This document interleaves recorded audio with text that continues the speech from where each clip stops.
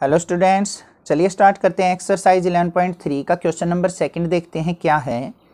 A suitcase with measures 80 multiply 48 multiply 24 centimetre is to be covered with a tarpaulin cloth उसने क्या कहा है? एक सूटकेस है, उसकी मेज़रमेंट गिवन है हमें। ये क्या है? लेंथ ब्रेथ हाइट इस तरीके से मल्टीप्लाई में हो तो ये क्या होती है? लेंथ ब्रेथ और height is to be covered with a tarpaulin cloth उस सूटकेस को एक तारपोलिन क्लॉथ से ढका गया है। How many metres of tarpaulin of with 96 centimetre is required कि हमें कितने लंबे तारपोलिन कपड़े की ज़रूरत होगी उसको ढकने के लिए?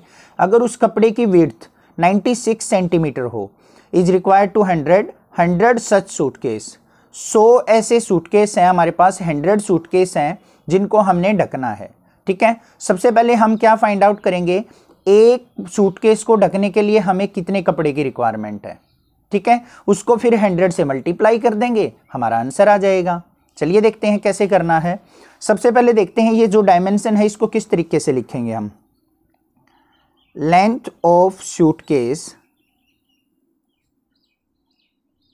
box L equal to कितना है हमारा? 80 सेंटीमीटर सभी सेंटीमीटर्स में होंगे ये। उसके बाद बात करेंगे ब्रेथ की।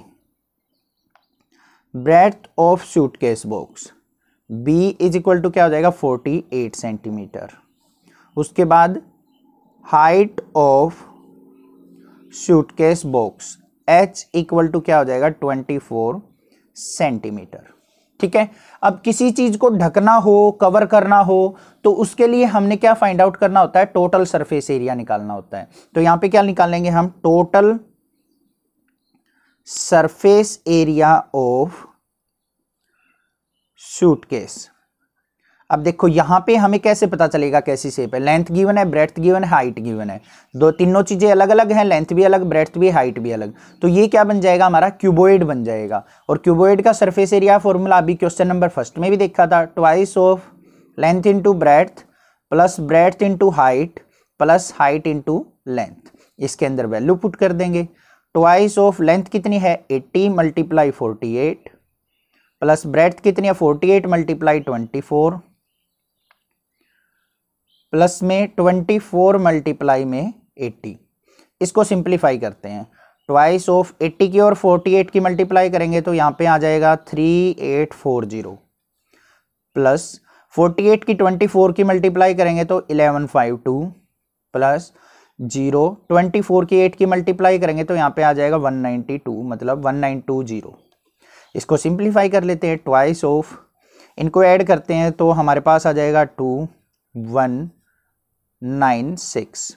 इसकी मल्टीप्लाई की तो हमारे पास आ गया thirteen thousand eight hundred twenty four centimetre square.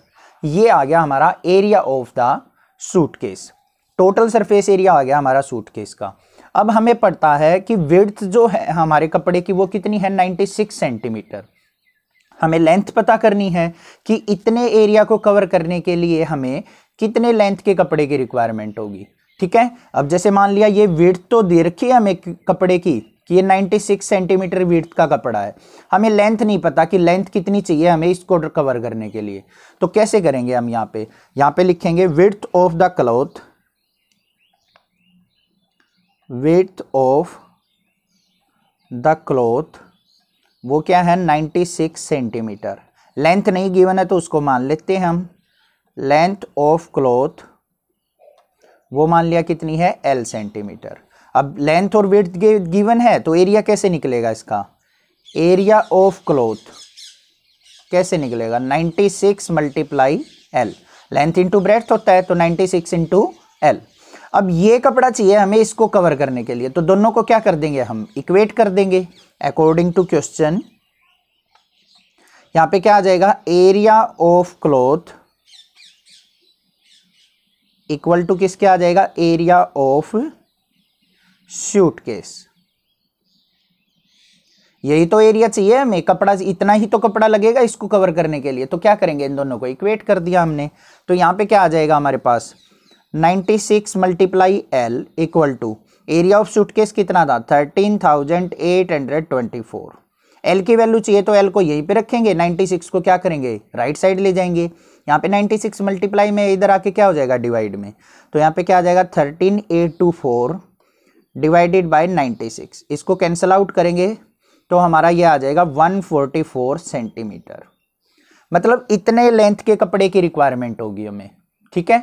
एक सूटकेस को कवर करने के लिए, ढकने के लिए हमें 144 सेंटीमीटर लेंथ के कपड़े की रिक्वायरमेंट होगी। अब बट उसने क्या कहा है क्वेश्चन में कि हमें तो 100 सूटकेस को कवर करना है। एक को कवर करने में 144 सेंटीमीटर के लेंथ की कपड़े की ज़रूरत है। 100 की क्या, किया होगी हमारे को?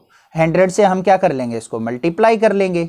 ठीक है? अब जैसे मान लिया, एक सूटकेस को कवर करने में एक मीटर कपड़ा लग रहा है तो 100 सूटकेस को कवर करने में क्या कर, कितना लगेगा? 100 से मल्टीप्लाई कर लेंगे। तो यहाँ पे देखते हैं क्लोथ रिक्वायर्ड टू कवर यहाँ पे लिखेंगे cloth required to cover hundred suitcase अब एक को कवर करने के लिए 144 सेंटीमीटर की रिक्वायरमेंट है 100 को कवर करने के लिए 100 से मल्टीप्लाई तो क्या आ जाएगा? One four four double zero centimetre ठीक है? मीटर में आंसर निकालना है तो इसको क्या करेंगे? 100 से डिवाइड कर देंगे। One four four double zero divided by hundred two zero से टू ज़ीरो मतलब वन फोर फोर मीटर ये आ गया हमारा आंसर ये देखना, ये एक सूटकेस का सेंटीमीटर में है, ये मीटर में है। ठीक है? तो ये आंसर आ जाएगा हमारा। आई होप ये क्वेश्चन आपको अच्छे से क्लियर हो गया होगा। कहीं पे कोई डाउट अगर आपको लगता है तो आप मुझे कमेंट कर सकते हैं। अदरवाइज़ इस चैनल को सब्सक्राइब करें लाइक करें और शेयर करें। अपने क्लासमेट्स को ज़रूर बताएँ। Thank you students for your love and support आने वाली क्लासेज की वीडियो भी आपको इस चैनल पर मिल जाएँगी। Thank you students